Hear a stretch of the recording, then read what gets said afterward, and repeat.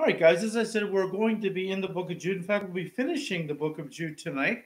So if you would turn to the book of Jude, just one chapter. And uh, let me just uh, say this. Uh, we have been spending several weeks studying this first main section of the book, which covers most of the book, by the way. It covers uh, verses 3 to 19. And uh, in this first part of Jude's epistle, he talks about what we need to fight against, what we need to fight against. And now, as we enter the final section, verses 20 to 23, uh, it deals with what we need to live for. So, two main points. The first, verses 3 through 19, I've called a call to action against apostasy. And then tonight we'll look at a command to Christians to live faithfully. As I look at verse 20, the beginning of that part of that verse, Jude said, But you, beloved, building yourselves up on your more, on your most holy faith. Now, guys, each of us has the responsibility to build ourselves up on our faith.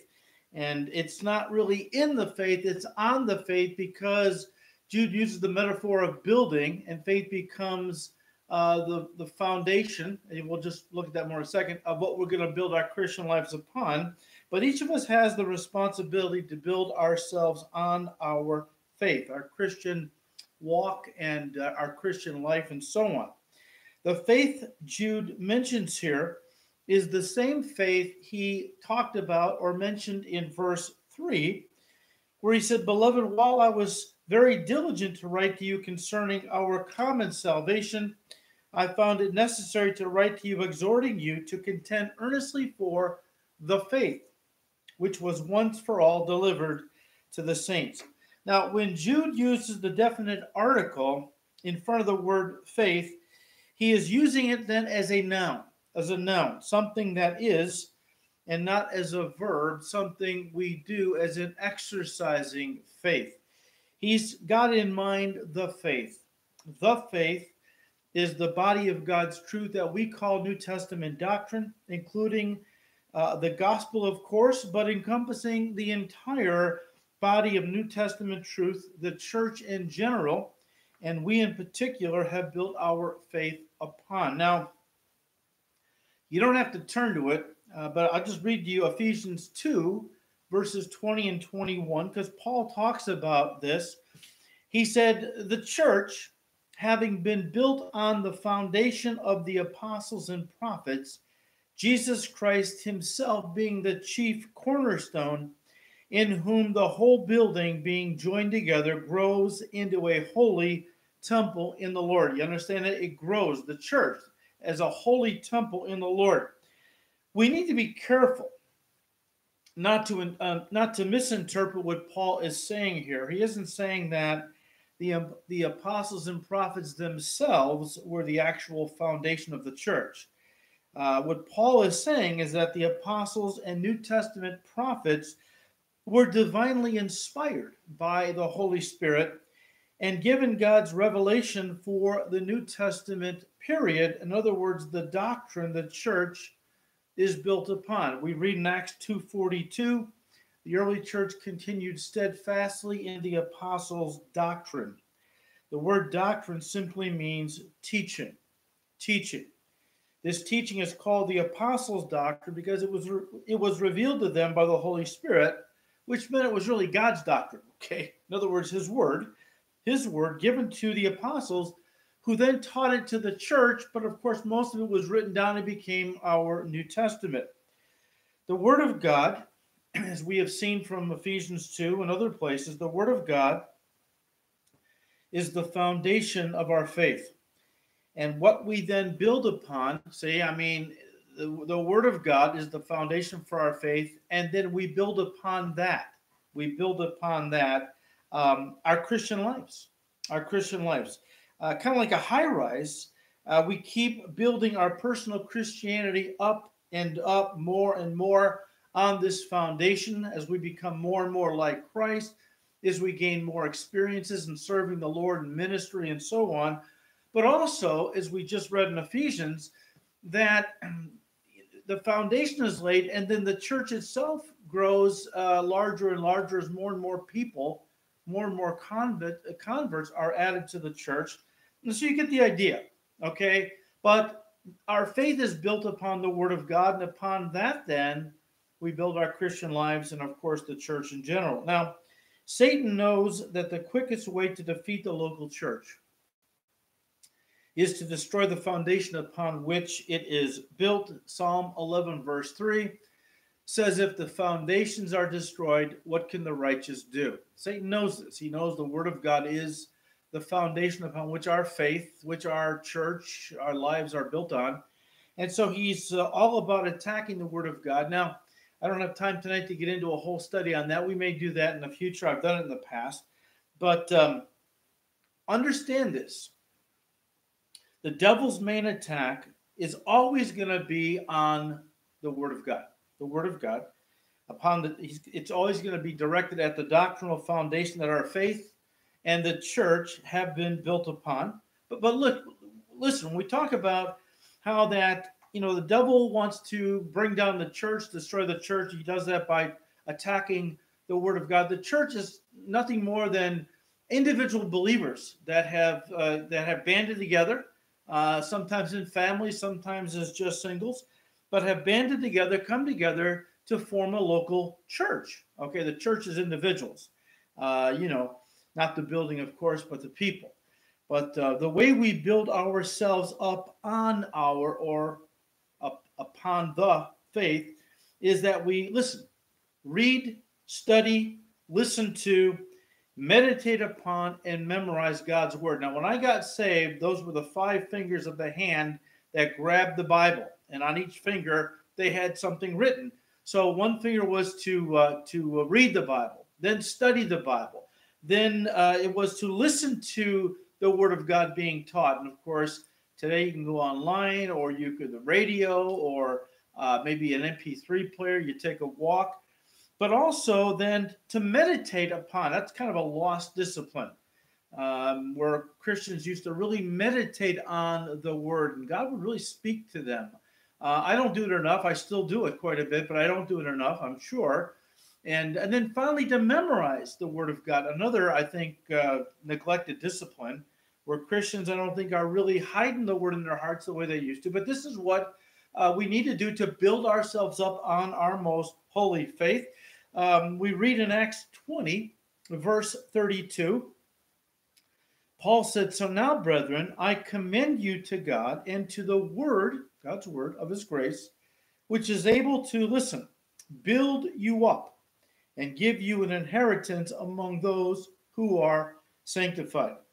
Guys, we build ourselves up on our holy faith by following Jude's simple outline. And it starts with the Word of God. It always starts there, always. And when it comes to God's Word, there are two primary ways, two primary ways we need to approach it that our faith, and ultimately we're talking about our relationship with God, will be built up, strengthened, that it would grow. All right. And that is we must look at the word, first of all, it, two things, okay? Two primary ways to approach God's word learning the word and living the word. Learning the word and living the word. And really, they're flip sides of the same coin, you might say. Um, the, the whole goal of learning is living. All right. And you can't live what you don't know. So obviously, they go hand in hand. But learn, and we could look at tons of scriptures. I'm just going to give you two, one on each point. Learning the word. Second Timothy 2:15. I, I'll read it to you out of the King James, where Paul said, Study to show yourself approved to God, a worker who does not need to be ashamed, rightly dividing the word of truth. Before we can rightly divide the word of truth, right? We need to know the word of truth. We need to know God's word. We must study it. We must study it, okay? Learning the word. And of course, of course, that then leads to living the word. And for that, I have you turn, or I'll just read it to you. If he, uh, Hebrews chapter 5, verses 12 to 14, where the writer says, For though by this time you ought to be teachers of the word of God, you need someone to teach you again the first principles of the oracles of God, and you have come to need milk and not solid food. For everyone who partakes only of milk is unskilled in the word of righteousness, for he is a babe.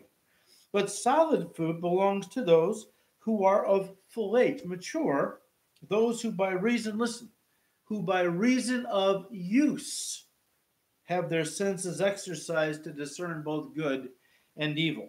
And the point the writer is making is that you can go to church and you can hear the word of God taught every week.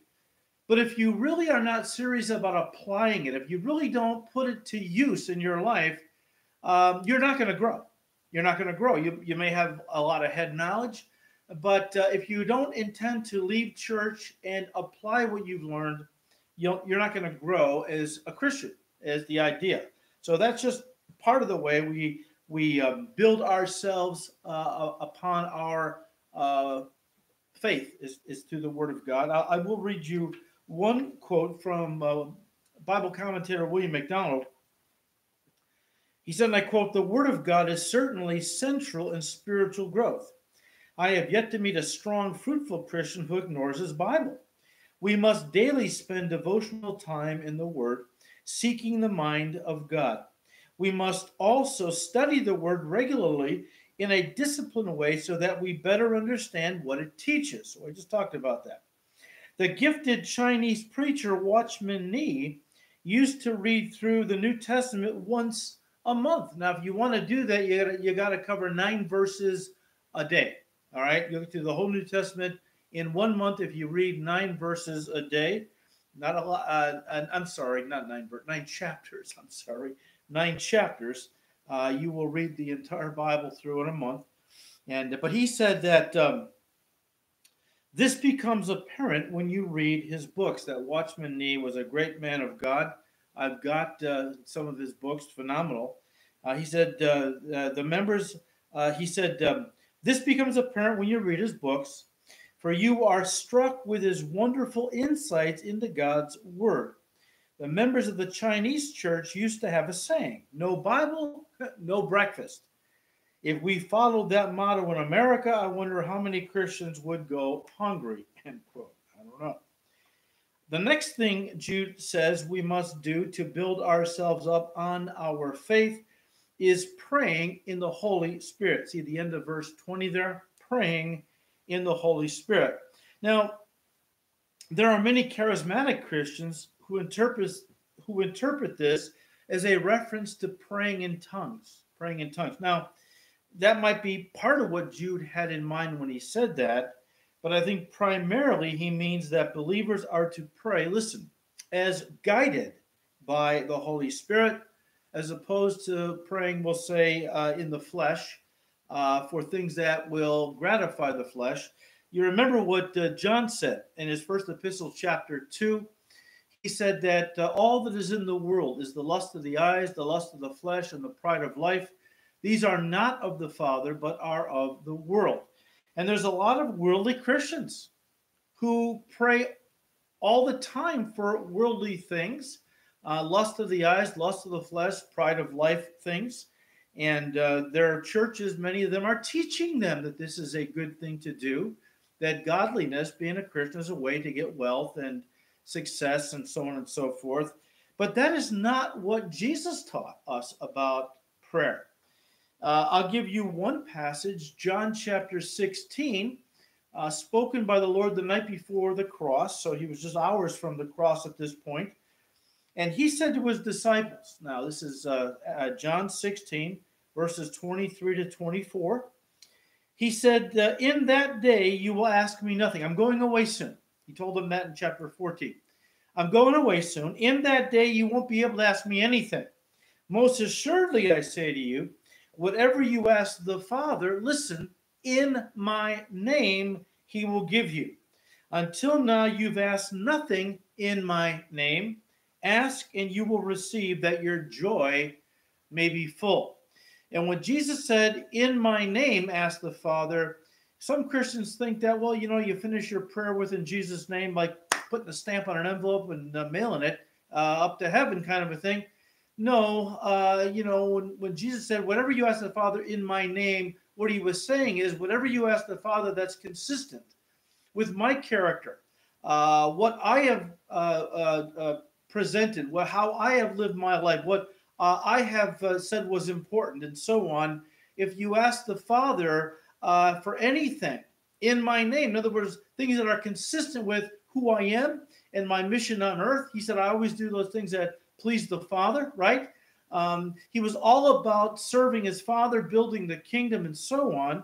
And so Jesus said, Look, if you have any need for the work of the kingdom, you ask the Father in my name, and he'll I'll make sure you get what you need to do the work I've called you to do. But that's prayer. All right, that's prayer. It's not asking for a bunch of stuff that's going to gratify our flesh. It's always about the work of the kingdom and God's will and so on. And so I believe that Jude has in mind prayer that is being led by, listen now, when Jude talks about praying in the Holy Spirit, I believe he has in mind uh, prayer being led by the Spirit of God in, the, in accordance with the will of God as revealed in uh, the Word of God. This is true prayer, led by the Spirit of God in accordance with the will of God as revealed in the Word of God. This would be in contrast to prayers which are recited mechanically and repetitiously, as Jesus taught his disciples not to do. Uh, Matthew 6, verse 7, Jesus said, When you pray, speaking to his disciples, he said, Do not use vain repetitions as the heathen do, for they think that they will be heard for their many words. When Jude admonishes us to pray in the Holy Spirit in verse 20, remember it comes right after verse 19, where he was warning Christians to beware of apostates, whom he said are sensual persons who cause divisions, listen, having not the Spirit. Look, unbelievers, of course, I don't care how religious they are, they do not have the Holy Spirit living inside of them and uh, they can still pray and often do. I mean, as a Roman Catholic, I prayed a lot.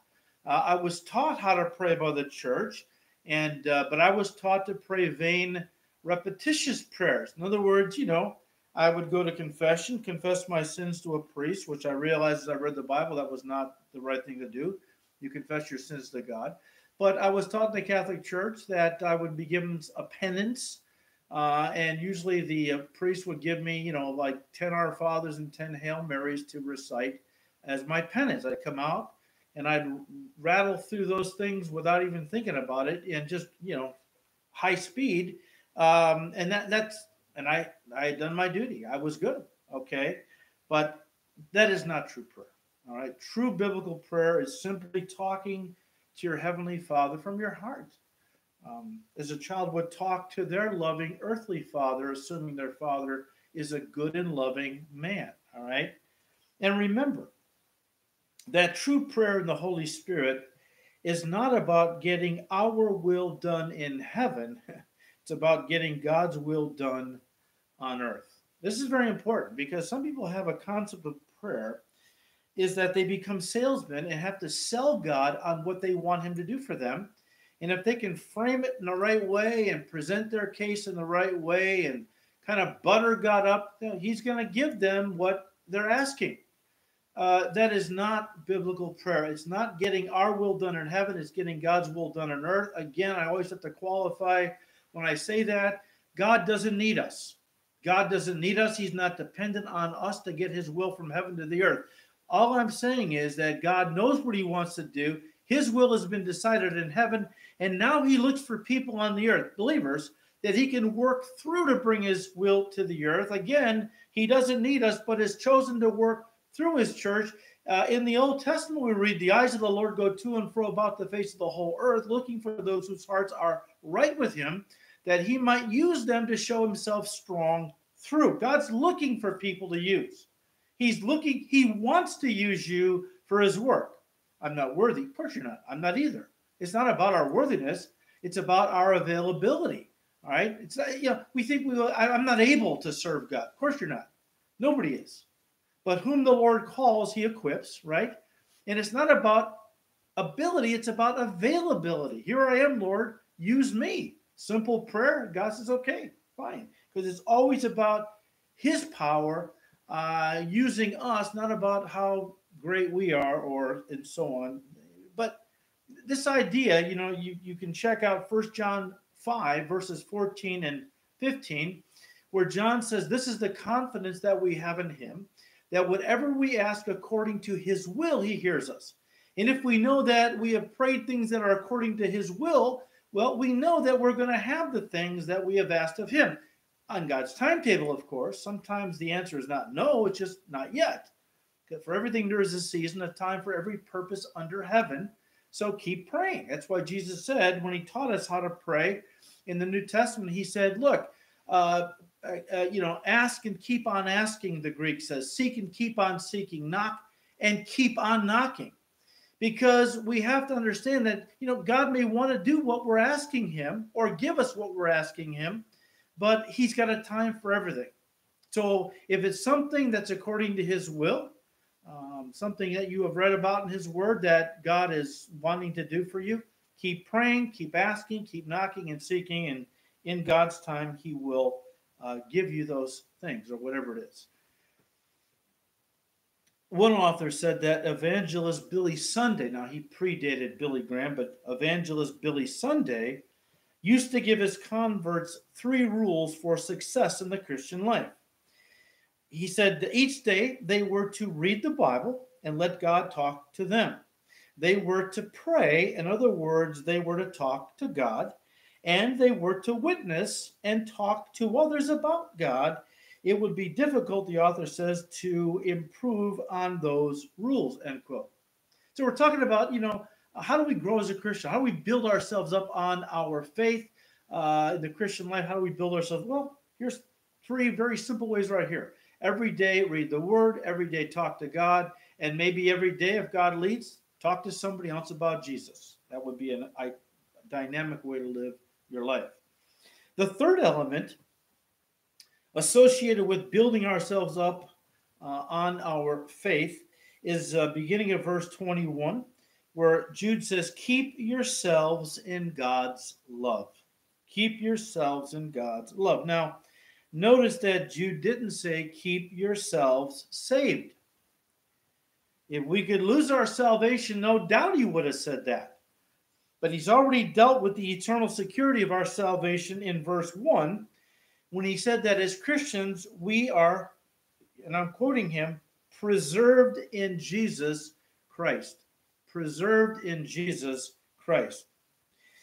And listen, when Jude says, keep yourselves in God's love, he isn't telling us to keep ourselves, you know, so cute and so lovable or so irresistible that God just can't help but love us. I mean, seriously? I mean, come on, right?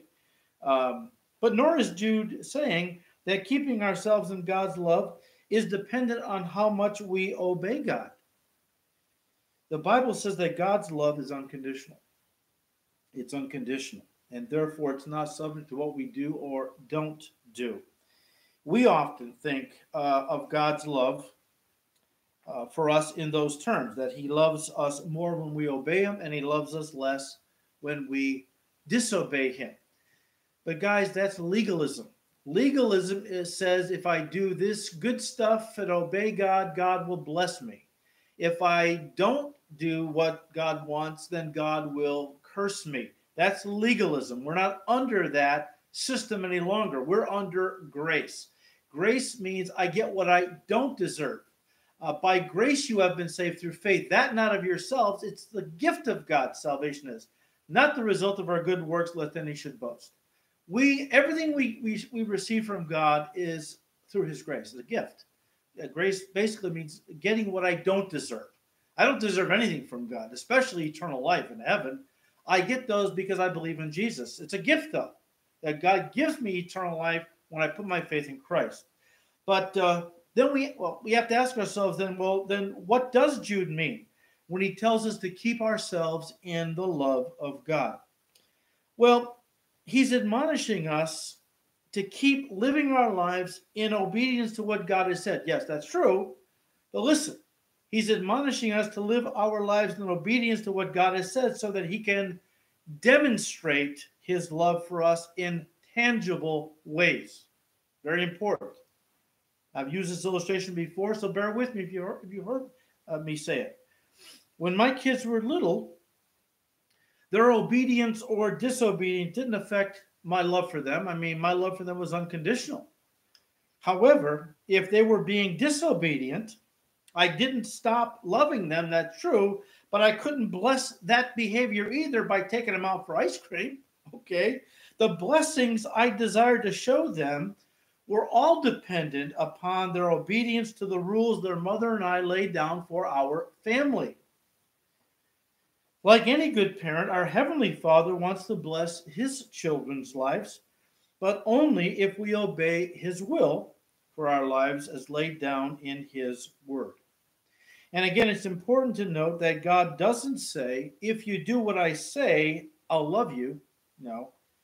He says, I love you no matter what. My love is unconditional. And rather, he says, if you love me, do what I say. Jesus put it this way if you love me, keep my commandments. John 14, verse 15. Guys, our obedience to God doesn't earn us his love, but it does demonstrate that we love him. Jesus said in John 15, verse 10, If you keep my commandments, you will abide in my love, just as I have kept my Father's commandments and abide in his love. In other words, I demonstrate how much I love God when I obey what he has said. All right. At the end of verse 21, we see another thing we need to take to heart uh, that we would build our ourselves up in our uh, on our faith. He says, looking for the mercy of our Lord Jesus Christ unto eternal life. This, I believe, is Jude's way of admonishing us to always be looking for Jesus' return. By saying that, I have the rapture in mind, or I, I should say, I believe Jude has the rapture in mind. The word translated looking, looking for the mercy of our Lord Jesus Christ unto eternal life. The word translated looking in verse 21 means earnestly expecting or anxiously waiting for, and carries with it the idea of looking diligently and vigilantly for the coming of the Lord Jesus with great expectation. Paul, in writing to Titus, who was a young pastor, in uh, chapter 2, verse 13, here's what Paul said. He said, Looking for the blessed hope and glorious appearing of our great God and Savior, Jesus Christ. Now, I want you to understand something. When Jude says that we are looking for the mercy of the Lord's return for his church, and Paul in Titus 2, verse 13 says that we are looking for the blessed hope of the Lord's return.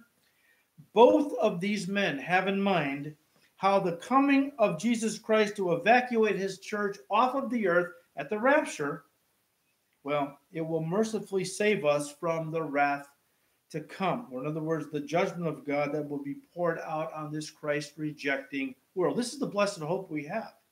Uh, those Christians who believe we're going through the entire tribulation period, which I don't understand uh, how that is even you know possible to think that, since the tribulation period is all about God pouring His wrath out, His judgment out on uh, on unbelievers, Christ rejectors, and we have received Christ. Peter says we are not going to be uh, the righteous won't be punished with the wicked. There's no need for that. We have received Christ. Our sins have been forgiven. Why would God punish us? Uh, you know, when he would when he judges the world, right? No, our blessed hope is that we're going to be evacuated off the earth before his judgment comes. We call it the rapture, or the scriptures do, that God will take us out of here. This is the blessed hope that we won't be here for the judgment of God.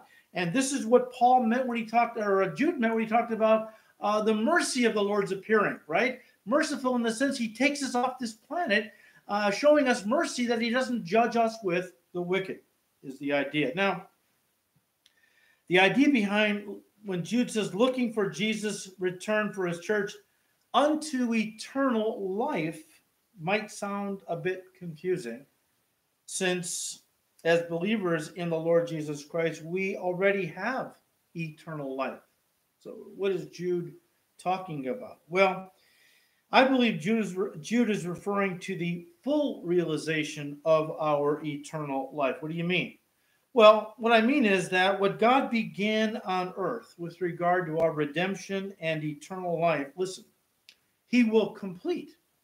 He will complete when Jesus returns for his church at the rapture, and our earthly bodies will be glorified and our redemption will be completed. Now, if you're a little confused, hang on to that thought. Let me read you a few scriptures. You can write down the references, okay?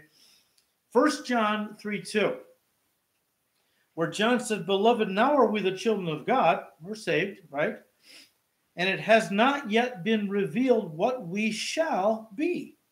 But we know that when Jesus is revealed, we shall be like him, for we shall see him as he is. So what John is saying is, look, we're saved, we're Christians, and yet there's there's a work that has to be finished yet. And that will happen when Jesus appears, when we're raptured, we see him face to face and um, we shall be like him as we see him as he is. Philippians 1, verse 6, Paul said, being confident of this very thing, that he who has, listen, begun a good work in you will complete it until the day of Jesus Christ. Or, in other words, he will finish what he has begun, the work he's doing in your life and my life, when the rapture happens and Jesus calls us to be with him and we see him face to face, and we are instantaneously glorified and uh, made perfect outwardly, even as we are redeemed inwardly.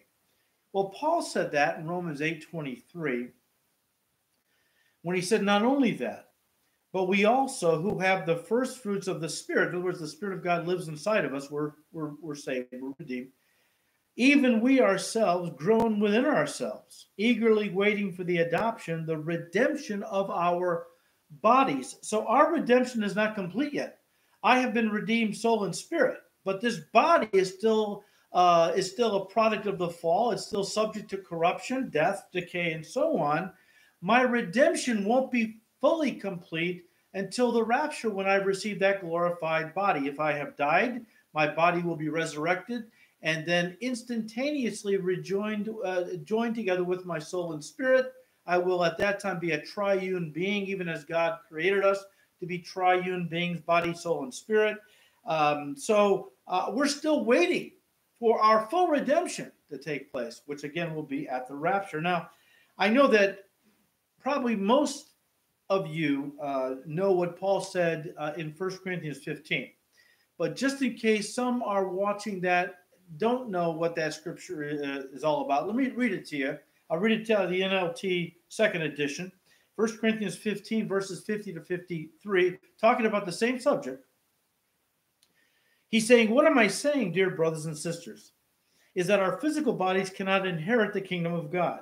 These dying bodies cannot inherit what will last forever. But let me reveal to you a wonderful secret we will not all die, but we will all be transformed. It will happen in a moment, in the blink of an eye, when the last trumpet is blown. For when the trumpet sounds, those who have died will be raised to live forever, those who have died in Christ, believers. And we who are living will be transformed. Um, and we who are living will be transformed. For our dying bodies must be transformed into bodies that will never die. Our mortal bodies must be transformed into immortal bodies. And he's talking about how this body uh, will be uh, transformed and, and glorified. And uh, from that point, never get sick, tired, never wear out, of course, no death, and so on. And so we're waiting for that complete redemption. Now, Jesus said that a faithful servant will be watching for his return. A faithful servant will be watching for his return, while the evil servant says, My Lord delays his coming. My Lord delays his coming, and then begins to get drunk and beat the other uh, servants and uh, get uh, all uh, occupied with the cares of this life and so on. You can read about that in Luke 12, verse 45. I do want you to turn to Mark, though, because Jesus, again, uh, he um, commanded us to be watchful, to be watchful. Turn to Mark chapter 13.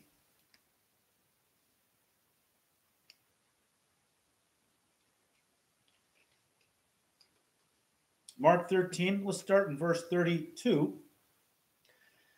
I think this is an especially powerful um, admonition by the Lord to be watching for his return. Mark 13, 32. However, no one knows the day or the hour when these things will happen, not even the angels in heaven or the Son himself. Only the Father knows. And since you don't know when that time will come, be on guard. In other words, you don't know what time the Lord's coming for his church. Be on guard, stay alert. The coming of the Son of Man can be illustrated by the story of a man going on a long trip. When he left home, he gave each of his slaves instructions about the work they were to do, and he told the gatekeeper to watch for his return. You too must keep watch, for you don't know when the master of the household will return in the evening, at midnight, before dawn, or at daybreak. Don't let him find you sleeping when he arrives without warning. I say to you what I say to everyone watch for his return. Wow.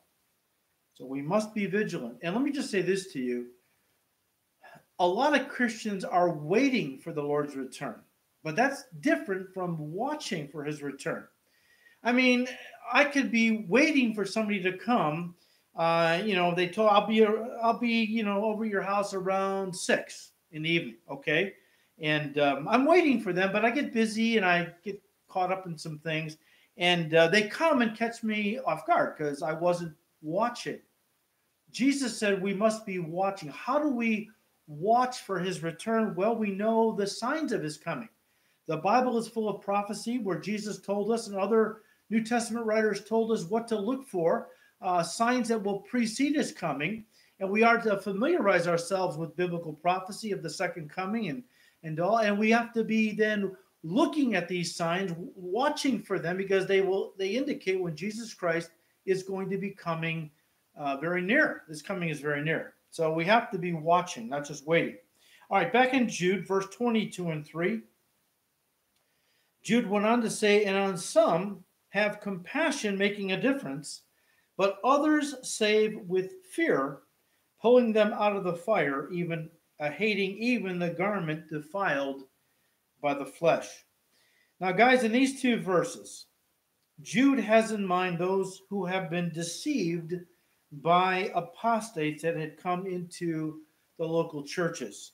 You remember what he said about these uh, people uh, in uh, verse 4. He said, For certain men have crept into the church unnoticed, who long ago were marked out for this condemnation, ungodly men, who turn the grace of our God into lewdness and deny the only Lord God and our Lord Jesus Christ. These certain men that have crept in unnoticed are apostates, okay? False teachers uh, is the idea. And some of these unbelievers, well, some of these apostates, I mean, let me put this way, they were all about um, teaching false doctrine. Now, some of these unbelievers um, were not too far gone that they were talking to and uh, and teaching this garbage, but some of these unbelieving students, I put it that way, uh, at this point we're not too far gone, if I can use that expression, in the sense that they, they hadn't yet fully embraced the errors of these false teachers. They still had tender hearts to the truth of God. They were still open, all right? It could be that they still recognize themselves as sinners and not, you know, perfected saints, quote unquote, as the apostate teachers saw themselves, sometimes even uh, saw themselves as gods almost, had a very high opinion of themselves. But you come across people, Jude says, in your churches that have been influenced by these apostates, uh, but they're not too far gone. They haven't fully embraced all this this deception of these apostates. He said, and as such, I recommend that you you know handle these people with a velvet glove approach, velvet glove approach, uh, in that you love them and you show them tenderness and compassion it's a very important thing as you seek to guide them. Of course, he's talking to those folks back in his day, but it applies to us today as well. When we see these people that have, are starting to be influenced by Jehovah's Witnesses or Mormons, and uh, they're still kind of confused, they're not sure what they believe. that's a good time to get in there and just gently, okay, just gently and lovingly try to steer them out of the darkness of error into the light of God's marvelous truth.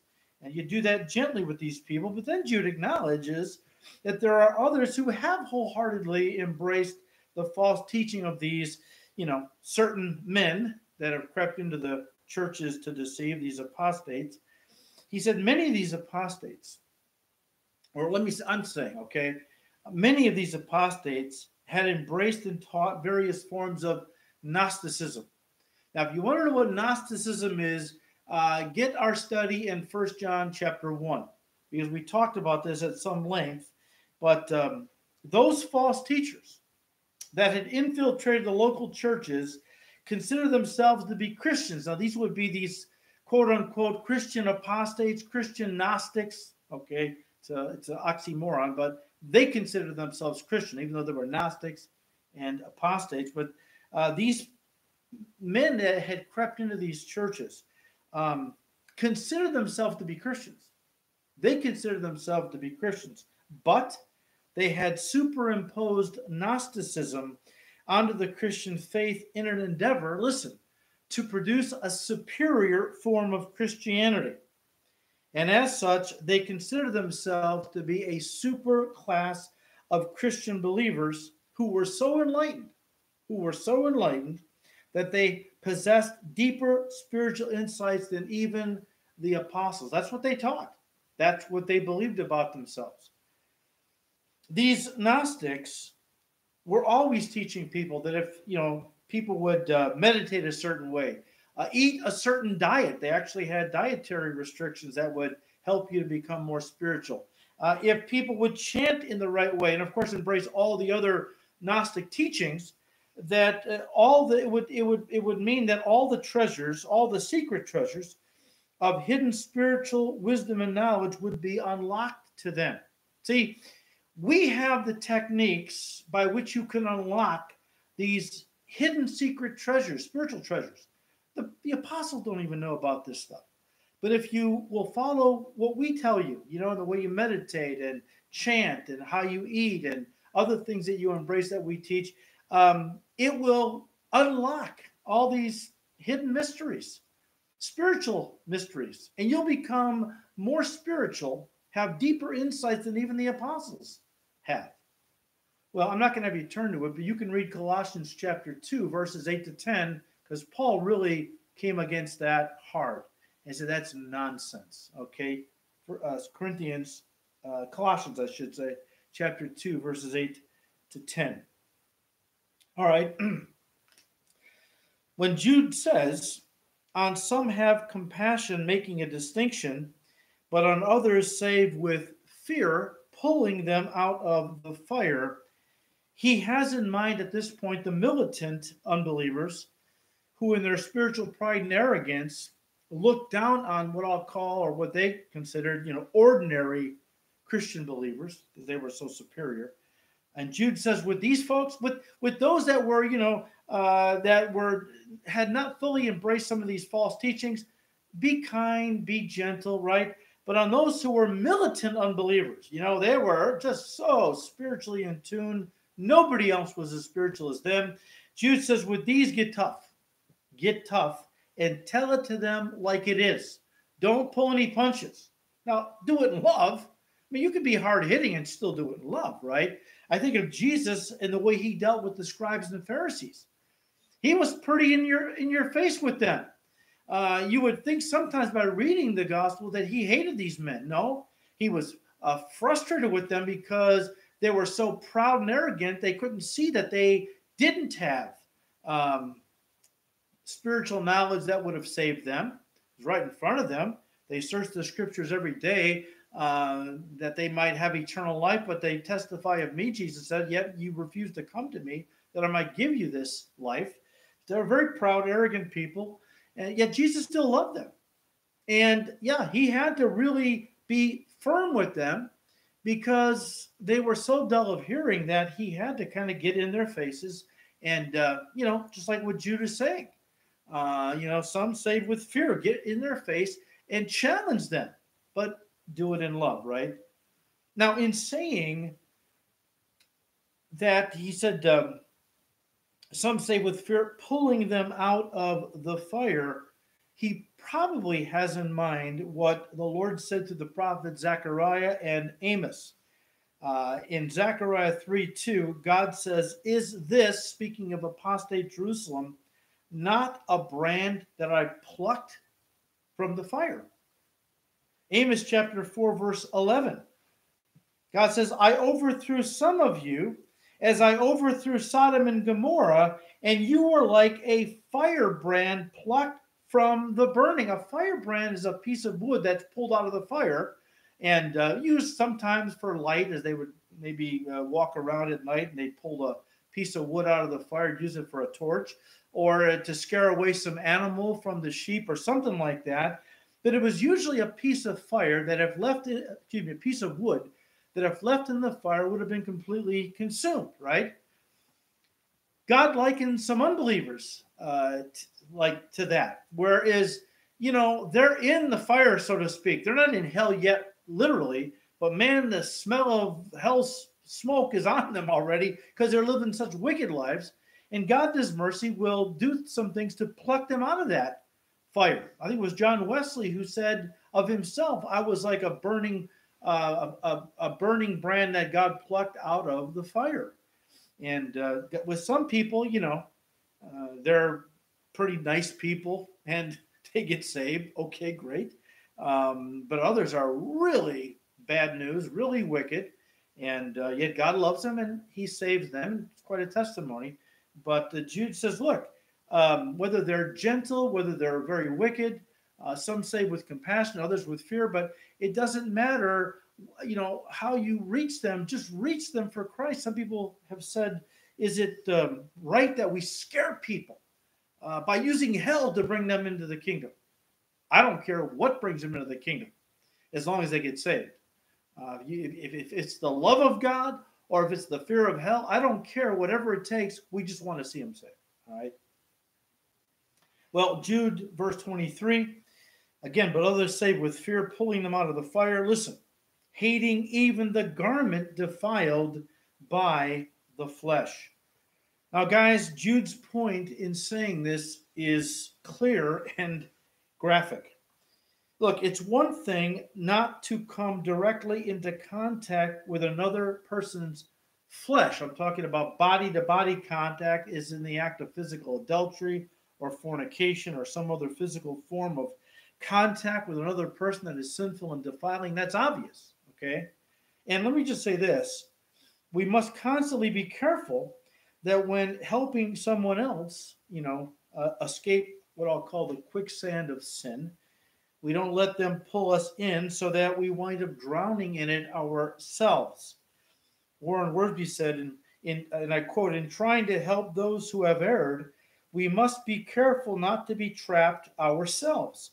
Many a would be rescuer has been drowned himself when an unstable believer has been captured by false doctrine, we must be careful as we try to help him, um, as we try to help him escape, for Satan can use him to defile us. In trying to save him, we may be stained and burned ourselves. End quote. But listen, Jude was a Jew. And all the Jews knew that even that which comes into contact with defiled flesh, like a garment, well, became defiled as well. Again, Wiersbe said in the Old Testament, Jews had to be very careful to avoid ceremonial defilement. And this included even their clothing. You can check out Leviticus 13, verse 47, Leviticus 14, verse 47, and Leviticus 15, verse 17, which talks about this. All right. Wiersbe said, if a clean person, ceremonially clean, touched an unclean garment, that person became defiled. Unquote. Now, to make his point even more graphic, when Jude speaks of an unbeliever's garment, he uses the Greek uh, the Greek word for undergarment. We would say underwear that garment that was right up against his skin, right up against his, his flesh, okay? And when he speaks of this underwear being defiled by the flesh, he uses words in the Greek that refer to somebody's underwear being, listen, stained by their own body bodily fluids and therefore defiled. I'll let you fill in the blank, obviously. Um, but he's he's being very graphic uh, because he wants to communicate how horrendous this really is. All right, um, this Greek word, you know, you, being defiled with somebody's by somebody's underwear that was defiled through a person's own bodily fluids. One pastor rightly exhorted, he said, and I quote, just as no one wants to handle someone else's dirty underwear and be defiled physically, so we should be extremely wary of getting too close to the spiritual defilement of those corrupted by false teachers. Even in bringing the gospel to committed excuse me, even in bringing the gospel to, to committed apostates, saints must exercise great caution and wisdom. And then he quotes what Jesus said in Matthew 10, verse 16 Behold, I send you out as sheep in the midst of wolves, therefore be wise as serpents, serpents and harmless as doves. In other words, guys, when we get saved, we need to strip away all the defilements that we used to wrap ourselves in, all the sinful practice, even clothing. I mean, obviously, when a person gets saved, we'll say a beautiful young woman who was very promiscuous and dressed very provocatively. When she gets saved, she is to jettison that kind of garment, uh, clothing, and wear something modest and appropriate for now a young woman, uh, daughter of the King, Jesus Christ. Um, but but there are other practices, and I, again, I don't have time to have you turn to it. But Colossians three, verses five to ten, where Paul talks about the old things we used to wrap ourselves in: the lying, the stealing, the cheating, uh, the drunkenness. We kind of wrapped our that was our kind of our clothing that we wrapped ourselves in. But once we get saved, we, we are to put all that off and put on the new man, which is created in Christ Jesus unto holiness and purity and so on. All right, let's close. We have in verses 24 and 5 Jude's closing benediction. In verse 24, we read, or he says, Now, now to him who is able to keep you from stumbling and to present you faultless before the presence of his glory with exceeding joy. Now, guys, with all this talk about apostates and uh, their coming judgment, I'm sure Jude anticipated that it was going to cause many, you know, young believers and uh, and immature believers in the churches where his epistle was going to be read. Uh, I, I know he anticipated that a lot of these young believers and uh, immature believers would hear him talk about these apostates and their coming judgment in hell and might be prone to think that maybe they too could become apostate uh, in their faith and wind up going to hell as well. In other words, they might uh, they, they could lose their salvation and be uh, damned forever in hell. This is why Jude added this wonderful truth in closing his epistle. Uh, now, in him was able to keep you from stumbling, stumbling out of Christ and being lost is the idea, and to present you faultless before the presence of God with his exceeding joy. In other words, what he had begun, he's going to finish. What he began on earth, he's going to, to finish in heaven by presenting you to the Father, glorified, faultless, because you're in Christ. You're in Christ, okay? But uh, he added this beautiful truth at the end here because he wanted them to understand that they were absolutely secure, eternally secure in Christ. As a believer in Christ, their salvation was secure. Uh, they were sealed in Christ, and they would never, uh, ever lose their salvation and be lost. And since we studied this topic, when we studied uh, Jude's statement in verse 1, that Christians are preserved in Jesus Christ. We talked about eternal security at length. I'm not going to repeat it, okay? If you're interested, go online and access the uh, second study uh, that we did in this epistle of Jude. The second study, we addressed this uh, topic in detail, eternal security. But I will say this, and then we'll close. This is an extremely precious. This idea that we are, once we're in Christ, we are sealed in Christ until the day of redemption. It's it's an absolutely precious and important doctrine that every Christian should familiarize themselves with, especially if you want to protect yourself against the attacks of the devil, who will use condemnation all the time to think you've lost your salvation. Now, I believe that once you're saved, you're always saved. But it doesn't even matter. Well, it does. But even if you're eternally secure, uh, if the devil can think you've lost your salvation, well, he's got you defeated because you'll never live like a victorious Christian if you don't think you are a Christian any longer. All right. And so the idea is that, you know, Satan will try to use this constantly against us. Oh, you didn't measure up. You've lost your salvation, you know, that kind of thing. Oh, you blew it again. You, you're, you're out. God has rejected you, you know. This is why one of the pieces of armor that the uh, Christian is to put on, Ephesians 6, is the helmet of salvation. And I believe what, what uh, Paul is talking about is that we need to cover our heads, our minds, in a sense, with this helmet of the hope of salvation. He calls it the helmet of the hope of salvation, and I think First Thessalonians. But the idea is that you know the devil has got a broadsword. Uh, one edge is doubt, the other edge is discouragement, and he will use it quite effectively uh, by striking you upside your head in the area of your thinking to get you to think you've lost your salvation so he can neutralize your effectiveness for the Lord, take you out of the race, take you out of the fight. All right. So you need to know these truths about how you're secure in Christ eternally. Put on the helmet of salvation that protects your thoughts against the condemnation of the devil. All right, let's finish.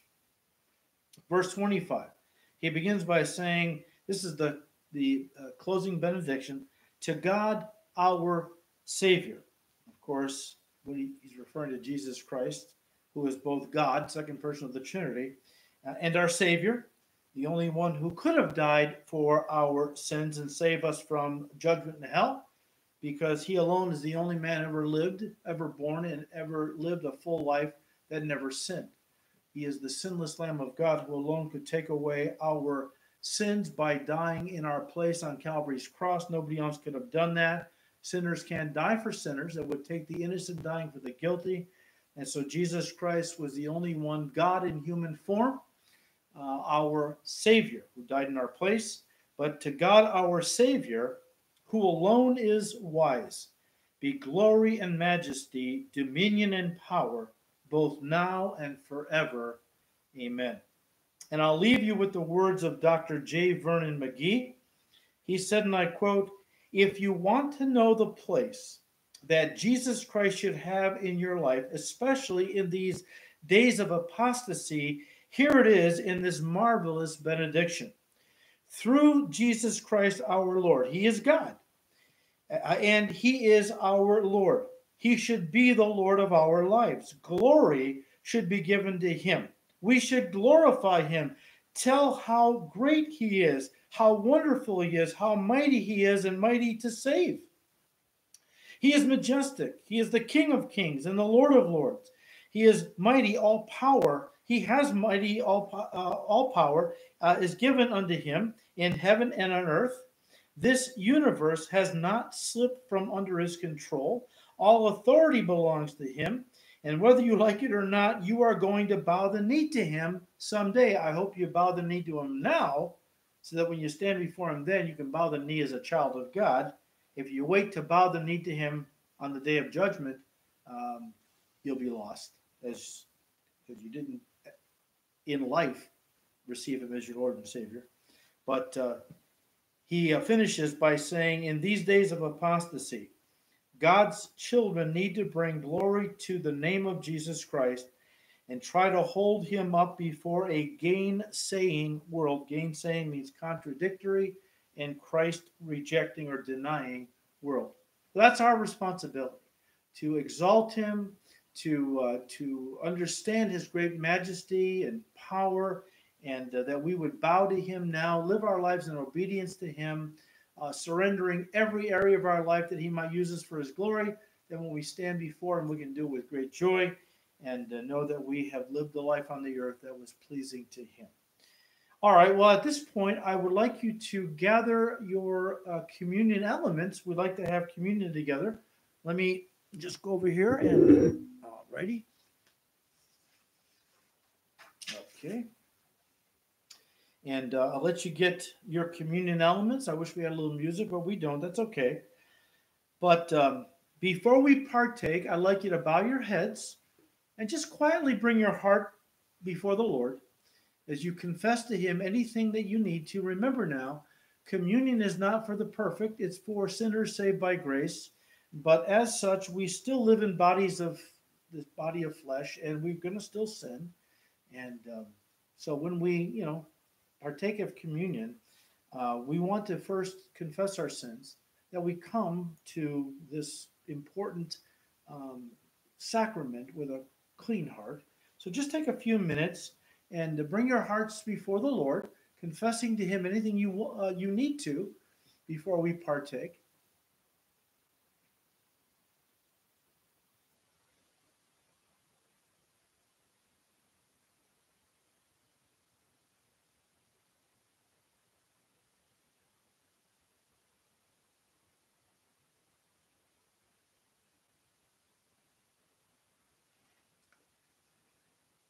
And then as we take the bread, remember how that the Lord Jesus Christ, the night before his crucifixion, in the upper room with his 11 closest disciples, at one point he took the bread and he broke it. They were partaking in the Passover meal, but at one point he took the bread and broke it, gave it to all of them, and said, This is my body, which is broken for you.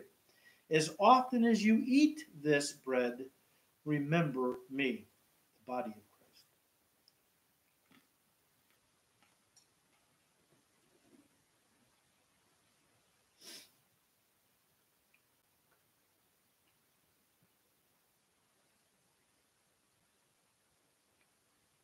by his stripes we are healed.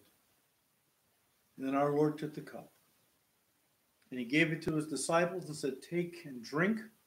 This is the cup of the new covenant, which is in my blood, shed for the remission of sins. As often as you drink this cup, remember me, the blood of Christ.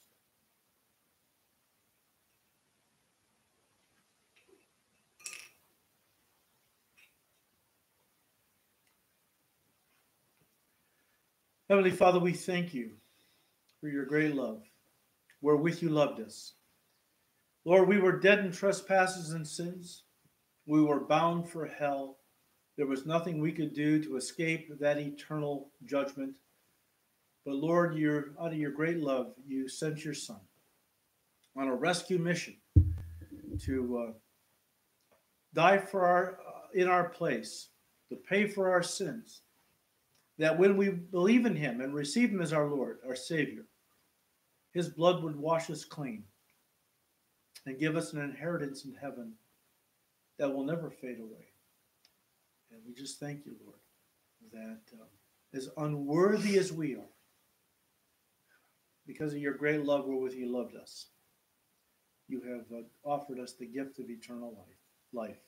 Thank you, Lord. We ask you to continue blessing our studies in your word. We ask, Lord, that you would end this uh, lockdown quickly and we can get back to church and, and see each other face to face. Give the governor wisdom, grace, work in his heart, Lord, to allow churches to meet uh, as regular, uh, in regular fashion. We just thank you now, Lord, though. We ask you to uh, continue to bless our church and uh, our studies in your word. We ask all this in Jesus' precious name. Amen. God bless you guys. Have a great evening.